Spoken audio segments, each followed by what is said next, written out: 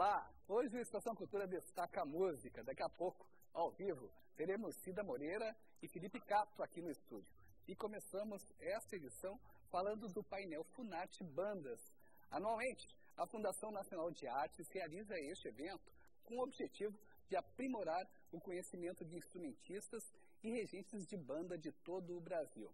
Uma das cidades que vai receber o painel este ano é Guaíba, e para falar sobre o evento, eu converso agora com Pedro Figueiredo, Pedrinho Figueiredo, diretor da Discoteca Pública na Torre. Tudo bem, Pedrinho? Tudo em paz. Muito obrigado por receber. Aqui, vamos fazer uma distinção aqui. A gente está falando de um tipo específico de banda, né? Não estamos falando de uma banda de rock, um grupo musical reunido em torno de um, do que se chama banda, né? Mas sim de bandas marciais.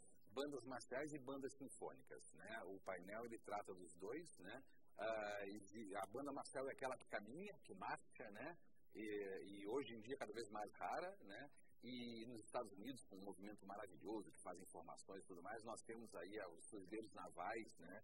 Que fazem coisas incríveis, né? Formam letras, palavras e tudo mais, né?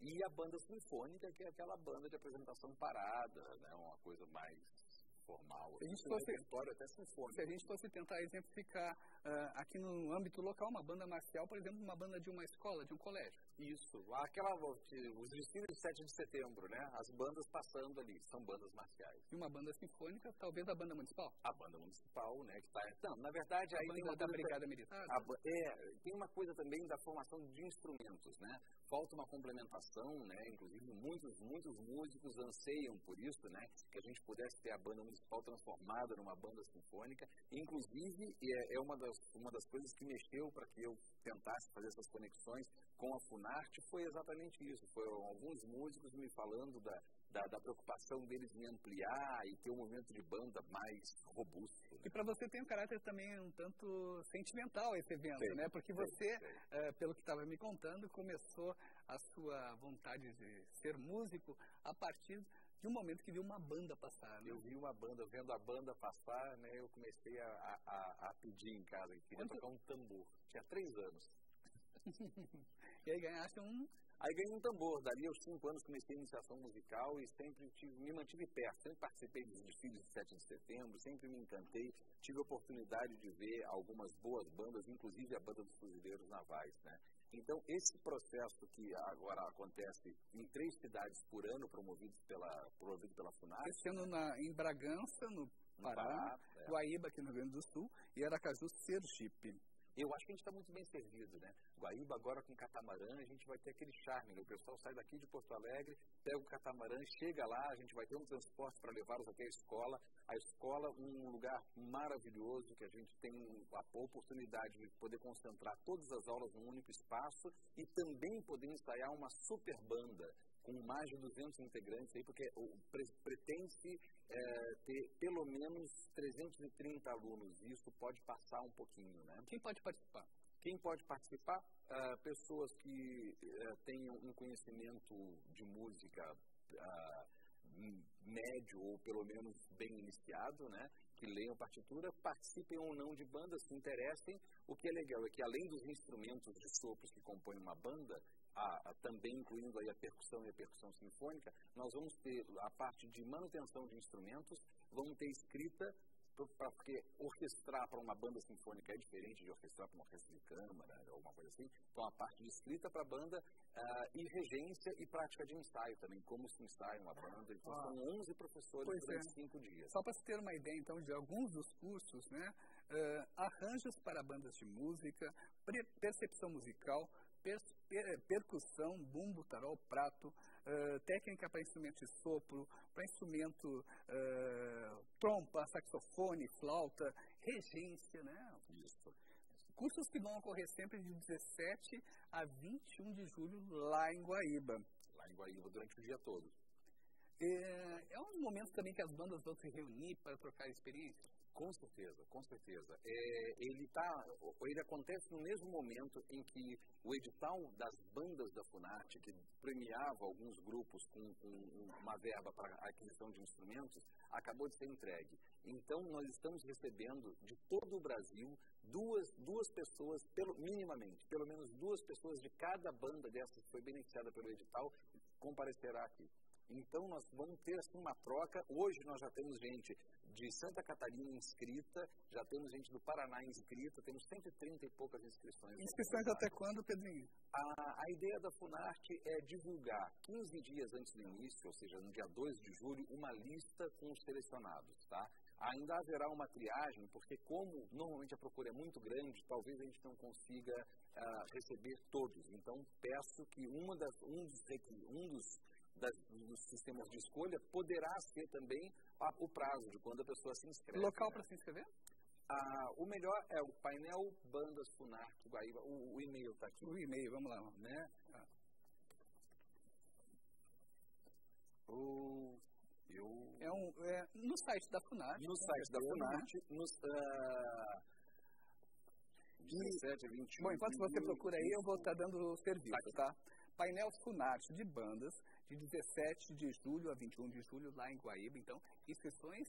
Inscrições. Painel de Bandas Guaíba 2013, arroba gmail.com.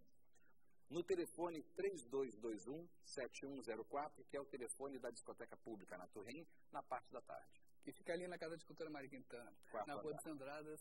736. Obrigado, Pedrinho, pela tua participação Prazer, aqui. muito obrigado. Espero contar com todos aí até o dia 12 de julho fazendo inscrição para o painel de bandas. Beleza. E em cartaz na sala Álvaro Moreira, uma montagem de um texto do criador do Castelo Ratimbum.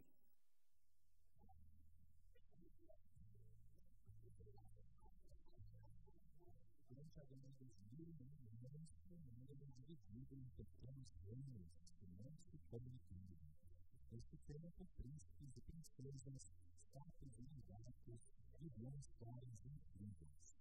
A gente fala sobre os amores, sobre as princesas que foram se casar, sobre os príncipes que viram fato depois viram príncipes de novo. Então, é sobre isso que a peça fala. Esta montagem tinha sido elaborada em companhia teatro de extravagância alguns anos, Marina Toma pela festa fresca de Cláudio de Souza, criador do Castelo de Ratimbu. No 25, os questões positivas e questões de fraude, que estava cometendo no serviço de papel. E vamos ver esse livro, que se chama, como uma peça, Príncipes de Pesquisa Nacional, que é uma um dia vou fazer, um dia vou fazer, e depois eles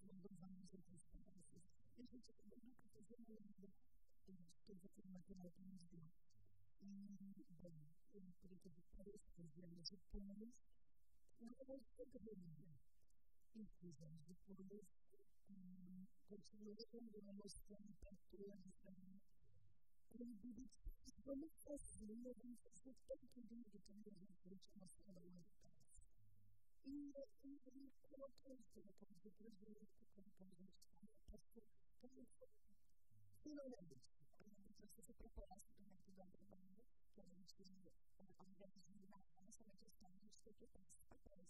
Então, é muito legal que a gente uma pesquisa, depois se transforma em um é uma doença. Então, na verdade, a gente tem vários objetos que a gente puder ver a gente não já vira personagens, então é muito dinâmica, esse projeto que a gente faz com crianças, aprende na verdade o outro. Mas eu não sei eu falo. Fazer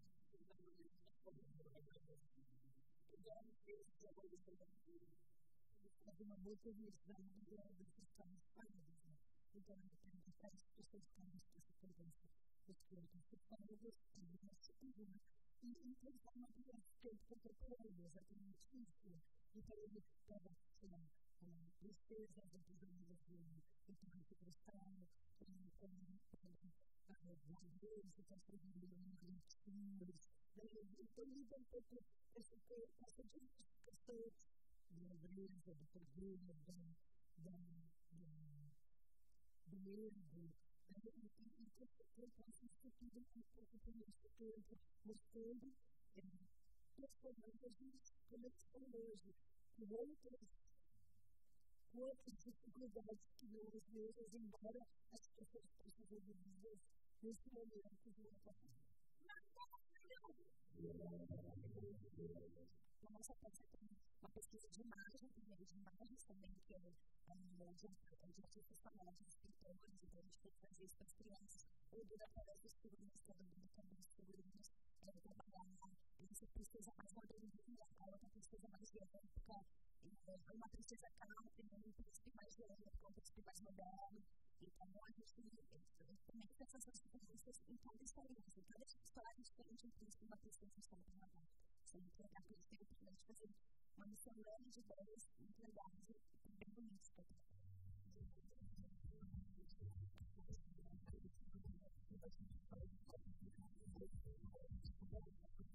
Bem, a Estação Cultura vai em breve intervalo e não perca no próximo bloco um bate-papo com Cida Moreira e Felipe Cato, que se apresentam este final de semana aqui em Porto Alegre. É um instante só.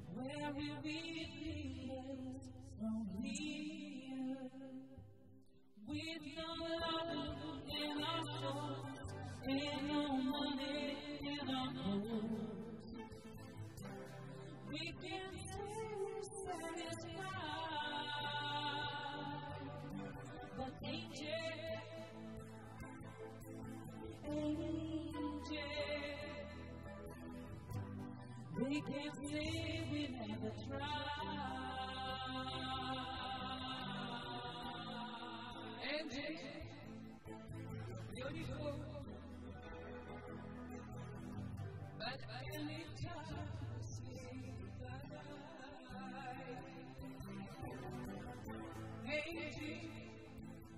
I still love you. Remember all those nights we cried, all dreams we held so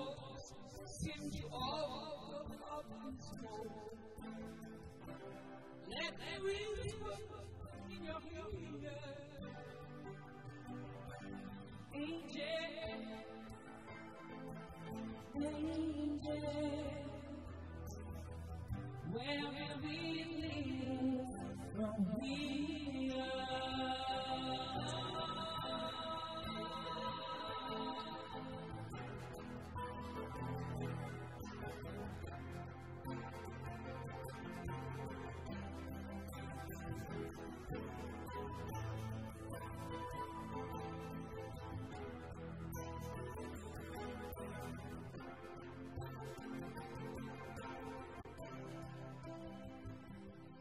We name in our and know my name in our. You can take your ship's but danger, I still love you, baby. Everywhere I look, I see her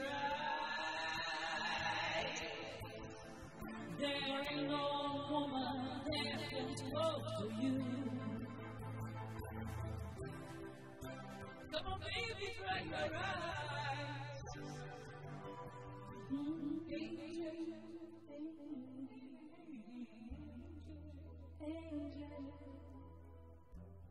angel, to be alive. Angel.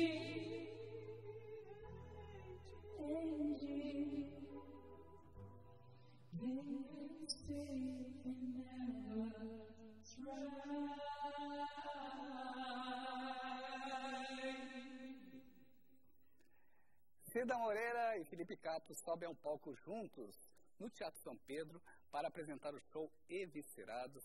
Clássicos da música internacional, da música caipira e também do samba estão no repertório. Tudo bem, Cida? Tudo bom, Felipe? bem. Que legal receber vocês aqui. E como é que nasceu esse encontro? Você conta. Eu conto a minha versão, a, minha versão da história é que um dia eu estava no Odeon, assim, aqui em Porto Alegre, e de repente as luzes se apagaram no Odeon e a Cida estava lá, ao piano, para fazer um show particular pra gente, assim. E aí nessa. Eu fiquei completamente emocionado, porque primeiro um presente de Cida Moreira no Odeon, eu achava aquilo ainda mais legal, né? Por ser um lugar que a gente estava ali frequentando. Mas aí a gente conheceu nesse dia, eu toquei também. E a partir disso a gente ficou em contato. E depois, em 2010, quando eu já estava. Isso foi em 2008, 2009, é. No ano seguinte, eu fui morar em São Paulo e a pedido da Patrícia Palumbo, que é uma jornalista amiga nossa também, ela está fazendo um, um, projeto, um evento de, de, Era uma noite onde dois cantores de gerações diferentes se encontravam. E aí ela colocou eu e a Cida na mesma noite, a gente uh, ensaiou, né? Fez, uh, um fez um pocket e fez End, né? Fizemos End, é. Ele, chegou, ele chegou na minha casa, o primeiro ensaio com a partitura da End do braço e lá no John, foi eu saí, cantei e depois ele foi cantar. E eu não sabia quem era ele. Aí eu falei, quem é esse criador? Eu fiquei muito impressionado também em falar, ele chama Felipe Castro. E pronto. Aí depois de um ano a gente se conheceu dessa maneira, como ele falou, e pronto.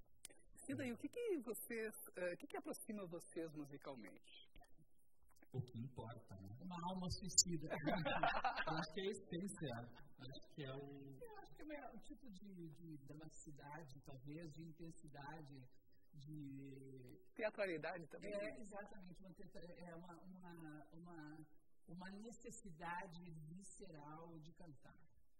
É, acho que tem muito essa, essa coisa que, que não está muito na moda, mas que é realmente assim, é, a gente não fizer isso, a gente realmente não consegue viver. Então tem uma questão de, de tem essa urgência, tanto em mim quanto no Felipe, e que dá essa característica para a gente de não ter nenhum tipo de pudor, de escolher o repertório que a gente realmente quer cantar. Então tem essa liberdade, tem essa coisa. Felipe, e nesse repertório, vocês buscaram também uh, essas canções podem trazer, ou, que trazem, essa dramaticidade para o palco? Tem, eu acho que sim, mas eu acho que mais do que as canções eu acho que é a maneira com que a gente está cantando elas. Eu acho que é a questão do contexto da abordagem. Porque eu acho que, para mim, esse é um show em que eu e a Cida a gente está uh, completamente despidos, inclusive eu estou uh, tocando e a Cida, uh, a gente está num, num, momento aqui muito verdadeiro, muito puro, né? Eu acho que tem também isso.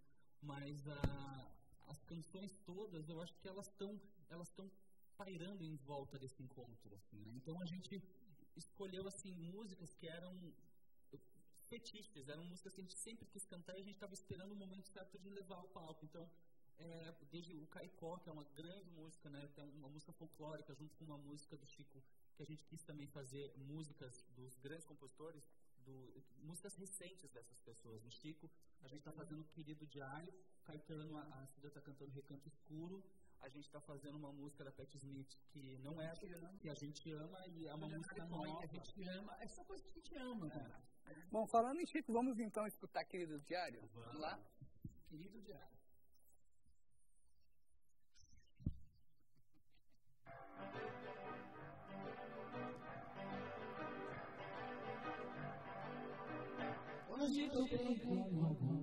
Conhecidos meus me dão bom dia, bom dia, cheios de carinho.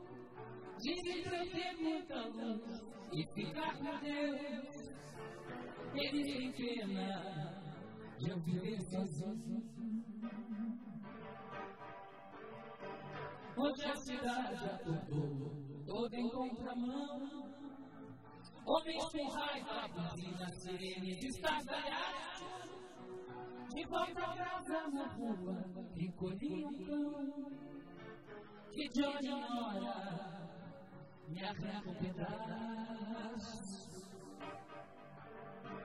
Hoje em ter religião de alguma ovelha, talvez fazer sacrifício por uma estátua ter adoração, amar uma mulher sem vício. Hoje o final, com conheci o amor. E era o amor, uma obscura trama. Não bato ela, não bato, nem com uma flor. Mas se ela chora, desejo Hoje o inimigo veio, veio me explicar. A lua tocaia lá, na curva do rio. Trouxe um foguete, um rei de de me. Mas eu não quero, não, porque sou macio.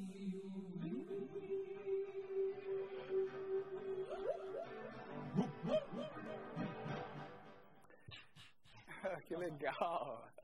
Felipe, além desse projeto com a Cida, como é que está a tua carreira? O que você anda preparando? Está tudo muito legal, assim, a gente realizou agora um, um, sonho muito grande, que era de gravar um DVD, né? Então agora, a partir de terça-feira, vai estar nas lojas, meu primeiro DVD seria ao vivo, com músicas do, do Fôlego, músicas do Saga e também músicas inéditas. A gente trouxe músicas, uh, músicas minhas inéditas, músicas uh, novas que não estavam em nenhum dos, dos outros trabalhos. E é um disco bem bacana, tá muito, muito, muito bacana. Sai agora dia 18 de junho. E daí a carreira de cantora, de atriz, no teatro de cinema? Então, assim, muita coisa, né? Então tem esse show com o Felipe Cato, eu continuo fazendo a da Mendigna ainda, né? Estou fazendo o Circuito do Sérgio, interior de São Paulo, e vou agora para Campo Grande, tem várias, várias coisas, várias frentes para fazer. A gente tem agora uma circulação da FUNAT com o Cabaré, a direção do Humberto aqui de Porto Alegre. Humberto Vieira. O Roberto Camargo e o, o Antônio Carlos Brunel Dunga. A gente reestreou, depois de 35 anos, o lendário espetáculo do Teatro Tom Rico Canta Brecht Weil, que já está fazendo sua, tá fazendo sua sexta temporada agora em Porto Alegre, em São Paulo. Você tinha que relançar aquele disco que você canta Brecht, é, né? O Summertime vai sair daqui a dois meses em CD, graças a Deus, finalmente. Olha. E além de tudo, isso é o que se move, esse filme lindo que eu fiz, que teve uma carreira maravilhosa. Esteve aqui em Gramado, a direção é do... Já entrou em cartaz, ficou então, já circulou em outros festivais, e agora foi escolhido para a mostra do Paris Cinema, então a gente vai para Paris para estreia, dia 1 de julho. Chique, né? Olha. e eu vou fazer no segundo semestre um filme longa, com direção do Guilherme Weber, um grande filme chamado Deserto. Estreiei um outro espetáculo chamado Canções Fatais, que vem a Porto Alegre agora em agosto, é, a música de Vicente Celestino, com um grande pianista e cantor chamado João Leopoldo, que ninguém conhece aqui ainda. São dois pianos e duas vozes cantando a obra espetacular do Celestino. E é só isso. Não, só isso, é pouca coisa, né? Eu estava lembrando do que se move. É, esse é o filme do Caetano Gotardo. Caetano Gotardo. Né? E o filme que teve críticas maravilhosas. É um jovem diretor. Uma carreira linda no Brasil todo. É, e é, é incrível como a música tem um papel decisivo também ali, né, no filme uma música estranha, uma música né, todo muito. É, é, de uma geração como a geração do Felipe, a geração do João Leopoldo, a geração de outros cantores e atores, que é uma geração de uma, uma geração que estuda muito, uma geração mais consistente, eu acho, culturalmente. E eu, eu como já uma pessoa muito mais velha, eu gosto de também beber dessa fonte da juventude. Estamos todos aqui bebendo disso, né? Legal. Lembrando então que o show Eviscerados acontece sábado e domingo no Teatro São Pedro, ali na Praça Marechal Deodoro sem número, a famosa Praça da Matriz. E claro, para encerrar o Estação Cultura desta sexta-feira, a gente convida Cida e o Felipe Cato para mais uma canção. E nós nos despedimos. Tchau, bom final de semana e até segunda-feira. E para encerrar,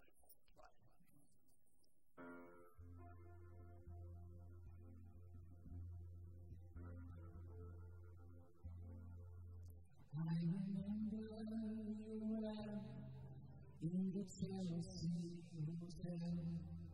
You were talking so brave and so sweet. Giving me head on the only that the limousines things waiting in the street. Those wasn't all. We are running for the money and the flesh. Was for the workers and for the for those. And you got baby, you just turn your back on the ground. You got away, never once heard to say, I need you, I don't need you, I need you, I don't need you. Thank you.